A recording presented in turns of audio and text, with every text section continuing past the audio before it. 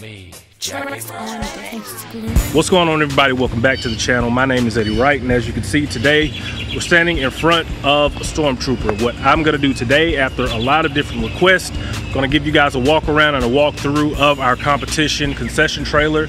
Let you guys take a look at it, talk about the things we did, things we changed, let you guys see the setup. So before we get started, thanks shout out to everybody who has been supporting the channel for all the likes, all the subscribers that we've been growing over the past 45 days. It's been massive. Major thank you. Follow me on all social media at the link below. Also follow my tiktok for more amazing crazy inserts. Uh, with that being said we'll get right to it. This is Storm Troopa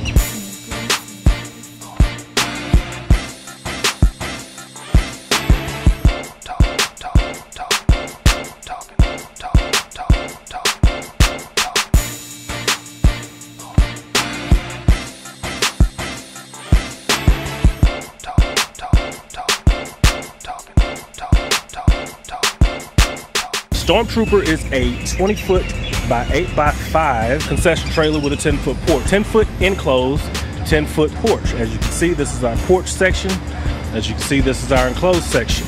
On the other side, we have a concession window in the door where we walk in most of the time. Sometimes we go up the back tailgate, and sometimes we just kind of, it, it, just varies depending on how we're feeling.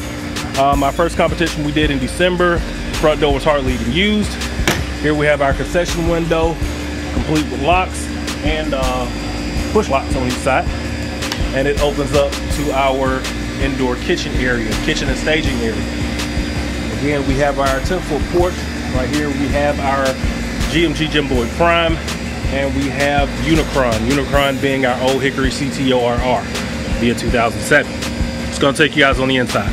So what we'll do now, we'll go on the inside, talk about what we have. As you can see, take a big step up and you're into our indoor concession area. This is where we have our storage, our Cambro, I'm sorry, our Mighty Light storage, and we have a lot of our seasonings, and of course our amazing, beautiful stainless steel countertop, complete with hand wash sink. In the middle we have an island, which we finally got the proportions right to where it's able to, you're able to walk on each side controllably and not be in the way of each other. This was very important because for servicing and prep, need to be able to move freely and be able not to bump into each other. Below each table, we have storage for any additional items. Here we have our catering trays and pans. We have additional storage over here, which a lot of our seasonings sit in, and here for our cutlery. Cutlery and seasonings are separated, and uh, we have a scale right here. If you go around, you'll see our plastic cutting boards, and you see our shelving system was a little bit basic, which lines the wall of the interior of the trailer. Gloves, heaters, few more seasons. Can't go wrong with your trusty fly shooter. We have our state certification here, little aluminum foil, and our beautiful butcher paper, and a refrigerator from where out on site we can keep our colds cold. Very important. This was very important for me simply because with me being a larger guy, 6'4", almost 300 pounds, I needed something I was gonna be able to walk around in without ducking a lot. I have back issues, so I didn't wanna have to do a lot of bending over when I need to do stuff. And as you can see, ceiling to my head, quite a bit of room that I can walk around freely with. I also have an AC and heat system that works very well in this unit. And we have also some storage drawers. These work as well.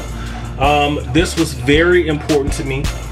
When going to competition, I didn't want to have to worry so much about renting a room or finding a place to stay.